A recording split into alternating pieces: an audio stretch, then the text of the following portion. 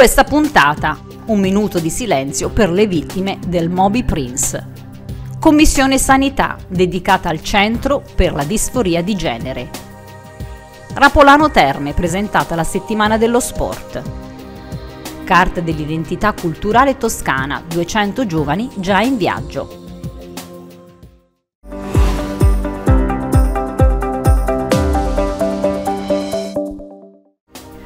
Minuto di silenzio in apertura del Consiglio regionale della Toscana per le vittime dell'esplosione nella centrale elettrica di Suviana e del Movi Prince. Innanzitutto bisogna non eh, dimenticare, bisogna continuare a chiedere verità e giustizia per le 140 vittime. È incredibile come in un paese civile come il nostro non si sia riuscito a dare ancora una risposta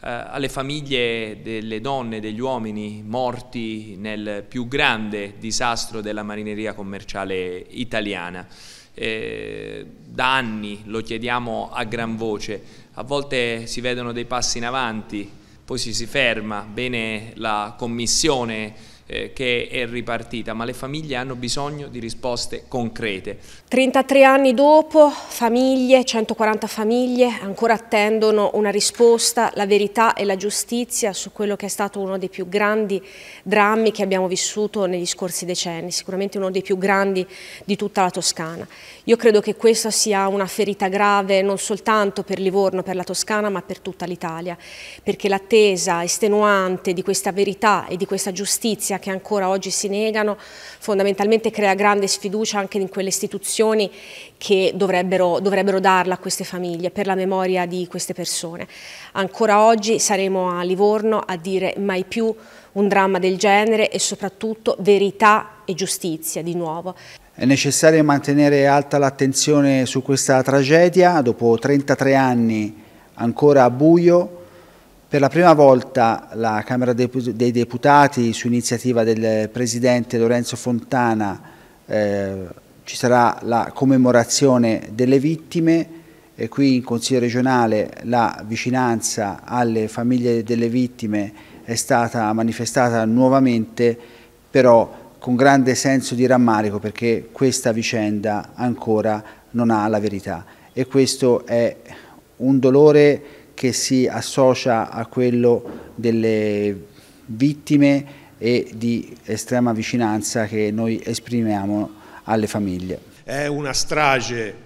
che ancora chiede e pretende verità e giustizia e il Consiglio regionale della Toscana ancora una volta ha ribadito il posizionamento, ovvero al fianco dei familiari delle vittime fino a quando non sarà fatta piena luce su questa terribile vicenda.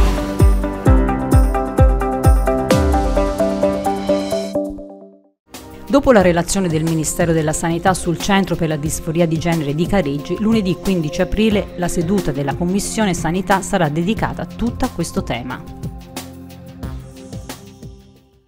Quando è venuto il tema delle contestazioni e delle ispezioni del Ministero al centro eh, relativo alla disforia di genere di Careggi, noi abbiamo immediatamente convocato una commissione per chiarire come stava funzionando il centro ed era convocata l'8 febbraio del 2024. È arrivata dopo la convocazione una lettera del Ministero che ha chiesto di non procedere con l'analisi in commissione finché l'ispezione non fosse conclusa e fosse redatta questa famosa relazione. E noi, diciamo così, pur non dovendo rispettare le indicazioni del Ministero, ci è sembrato opportuno seguire le indicazioni di collaborazione che il Ministero diceva e non abbiamo svolto quella commissione rinviandola alla prima data utile successiva all'invio della eh, relazione che il Ministero. Il Ministero ha inviato la relazione all'assessorato, è arrivata lunedì e quindi noi abbiamo convocato immediatamente per la prima data utile, quindi lunedì eh, prossimo, alle 9.30 è convocata già da stamattina la Commissione Sanità che vedrà l'audizione dell'assessore Bezzini, del direttore Gelli, della direttrice Matarrese e di tutta la struttura di Careggi. Quindi non, noi non solo non ne vogliamo parlare, abbiamo interesse a chiarire a tutti i cittadini come funziona il centro di Careggi, sicuri della correttezza del lavoro che stanno svolgendo i professionisti di Careggi e quindi tutt'altro che quello che è stato detto oggi in, in Consiglio regionale. È il più grande scandalo del sistema sanitario nazionale e del sistema sanitario regionale. Il senatore Gaspari, che ringraziamo per primo, ha tirato fuori il tema della disforia di genere. Oggi la relazione del Ministero ci dice che in alcune parti non sono stati seguiti i protocolli, soprattutto per quanto riguarda l'assistenza psichiatrica. Noi eravamo mesi che sosteniamo questa tesi, oggi è accertato dal Ministro, ma soprattutto abbiamo chiesto chiarezza in Consiglio regionale, abbiamo chiesto che venga convocata la Commissione, che l'assessore relazioni e ci saremmo aspettati che su un tema così importante che riguarda il sistema sanitario regionale, che riguarda la salute dei bambini, bambini di 10, 11, 12 anni, ai quali è, venuto, è stato somministrato un farmaco che si chiama triptorelina, un farmaco bloccante della crescita ormonale. Ecco, nessuno oggi si è alzato, l'assessore non ha relazionato, non ci è stato detto quali sono i termini della relazione, non ci è stato detto cosa dice il Ministero, ma semplicemente rimandano. E rimandano perché non hanno voglia di fare chiarezza, non hanno voglia di dirci cosa succede, ancora continuano a negare l'evidenza. Lì qualcosa non ha funzionato. Ci saremmo aspettati le immediate dimissioni della struttura, dei componenti della struttura di Careggi, ci saremmo aspettati anche un grande onestà, un passo indietro a parte dell'assessore, che non solo non sa cosa succede nella struttura di Careggi, ma non sa nemmeno cosa succede nei suoi uffici. La relazione è arrivata e nessuno lo sapeva. Io e il senatore Gaspari siamo stati accusati dalla sinistra di governo in questa regione addirittura di rivelare segreti dicendo cosa era contenuto in quella risposta all'interrogazione. Quello è un atto ispettivo del senatore, avevamo tutto il diritto di dirlo, avevamo tutto il diritto di dire cosa succede in quel reparto e in quel reparto, secondo il Ministro, non vengono fatte tutte le procedure così come previsto dalla direttiva AIFA, ma anzi vengono bypassate, non vengono rispettate, non c'è l'assistenza psichiatrica e quei bambini, lo ripeto, di 10, 11 o 12 anni viene somministrato senza assistenza psichiatrica un farmaco che si chiama triptorelina, che è un farmaco bloccante della crescita ormonale che non consente naturalmente ai bambini di capire che tipo di sessualità hanno. Io personalmente non l'ho letta la, la relazione de, del Ministero dove si presume o comunque da relazioni giornalistiche si dice che le cose non sono state fatte nella maniera corretta.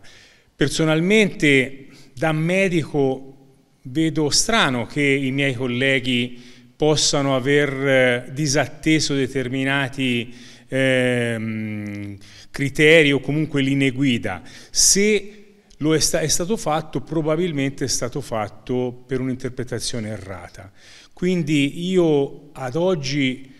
eh, rimango garantista sull'attività dei miei colleghi di Careggi,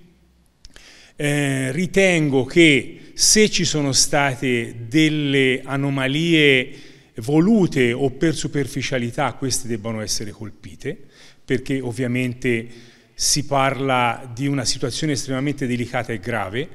ma voglio assolutamente rendermi conto di persona leggendo la relazione e ne ho la possibilità di poterla valutare personalmente se oggettivamente sono state fatte queste anomalie.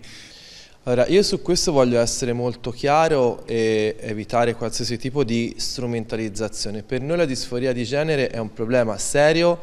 che deve essere trattato in maniera seria e che deve essere curato in maniera seria. Proprio per questo motivo qui pensiamo che i centri che si occupano di eh, incongruenza ed eventualmente disforia di genere debbano avere al proprio interno un neuropsichiatra infantile che è il medico specialista che può occuparsi di una eh, situazione come quella appunto della disforia di genere che è ritenuta essere un disturbo psichiatrico eh, che colpisce prevalentemente bambini, adolescenti, ragazze e ragazzi.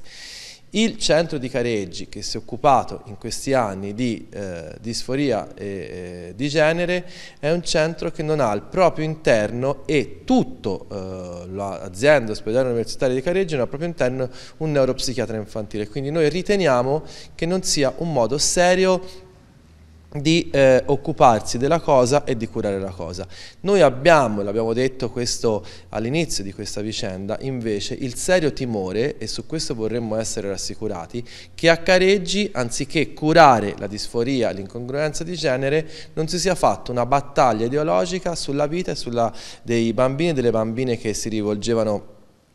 a quel centro, cosa gravissima questa, eh, l'indagine del Ministero, eh, le eh, esternazioni a mezzo stampa, le risposte dell'assessore e del Presidente Gianni in queste settimane hanno confermato quello che era il nostro timore. A Careggi non c'è un neuropsichiatra infantile che si occupa di disforia di genere, quindi di conseguenza è stato affrontato in maniera non seria, in maniera non scientifica e questa è una questione gravissima. Noi ci aspettiamo le dimissioni del direttore generale e del direttore sanitario di di Careggi che non hanno controllato come dovevano controllare, ci aspettiamo le dimissioni del direttore di dipartimento e del direttore del centro, insomma non si scherza su queste cose, non si fanno campagne ideologiche sulla vita dei bambini.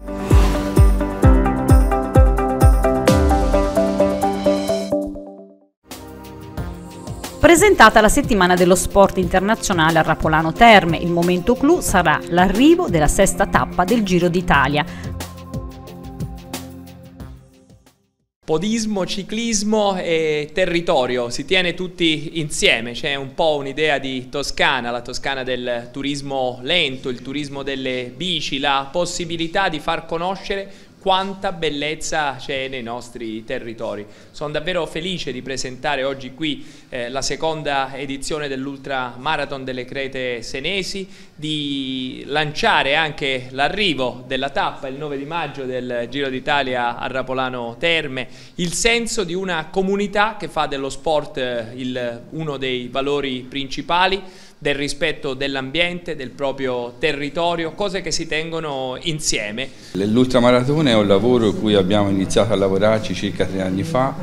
insieme al gruppo sportivo, al gruppo podistico Riccardo Valenti. Il nostro obiettivo è quello di far crescere questa corsa in maniera esponenziale nel corso dei prossimi anni e infatti nel corso di quest'anno siamo stati a presentarsi a, nelle varie corse podistiche, soprattutto siamo stati all'estero, siamo stati a Valencia e quindi per noi è un grosso, è un, è un grosso punto di partenza eh, che eh, aggiunto al, al discorso del Giro d'Italia ovviamente ci porta nel mese di maggio ad avere una rappresentanza del territorio del nostro comune molto importante. Questa è stata un'occasione che l'amministrazione comunale di Rapolano e il consiglio regionale ci hanno dato e come gruppo non potevamo tirarci indietro nel promuovere il territorio eh, che ci circonda, le bellezze e farle conoscere a, tutti eh, i vari iscritti del, delle Crete Senesi Ultramarathon. Attualmente abbiamo circa 700 iscritti, per lo più sono tutti stranieri, quindi Ecco, per essere il secondo evento e ancora non siamo alla fine perché le iscrizioni sono sempre aperte, contiamo di arrivare a mille e forse ecco, for per essere audaci anche superarli.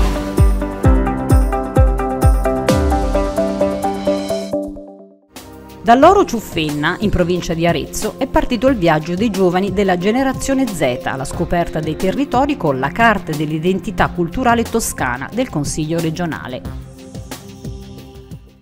Questo è un progetto per fondazione importante perché come sapete la Regione ci dà mandato a comunicare, divulgare e promuovere l'identità diffusa della Regione Toscana. Questo è, un progetto ideale perché lavoriamo con 10 scuole, oltre 208 studenti coinvolti in itinerari che attraversano veramente tutta la Toscana, pensiamo, vedremo nel calendario degli eventi che solo 4 sono nei capoluoghi, le scuole, il resto sono nella Toscana più diffusa e anche gli itinerari riguardano i temi veramente più ampi, da quelli storici a quelli ambientali, paesaggistici, ricordano i personaggi, così come ricordano i singoli luoghi naturali. È un progetto molto interessante eh, che ha coinvolto 10 scuole,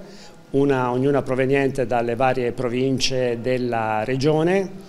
ed è un progetto che ha alla base uno scambio culturale tra ragazze e ragazzi che a seconda dei casi si trovano ad essere promotori del proprio territorio verso la scuola proveniente dall'alta provincia e poi a loro volta ospiti, in un incrocio che vede scambiarsi esperienze, eh, conoscere quello che è la realtà culturale, turistica e soprattutto all'interno di un progetto di sviluppo sostenibile che afferisce alla legge del 7 febbraio 2023. Progetto che nasce da un'intuizione quella di costruire le relazioni e oggi credo che sia l'elemento più importante noi, sul quale dobbiamo lavorare e sconfiggere da una parte la solitudine delle persone che pensa di essere ovviamente in relazione, però se manca la dimensione relazionale umana dell'interscambio, anche quella mediata da un social o da uno schermo può diventare un elemento che allontana le persone. Questa è la filosofia e la logica con la quale è nato questo progetto.